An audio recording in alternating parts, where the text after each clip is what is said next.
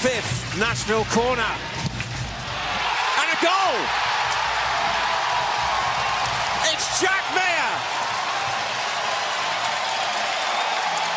The milkman strikes on his return from loan and his first start of the season, his first goal in Major League Soccer. It's the leveler.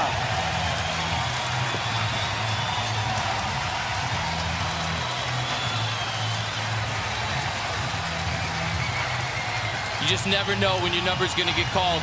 And when it does, are you ready to take the chance? Jack Maher judges the trajectory, stops, cuts back, feels Aro, lets his momentum go by, and all he's looking to do is change the angle of the ball. With the right foot, he guides it on goal. Toronto FC did not put a player on the near post or far post.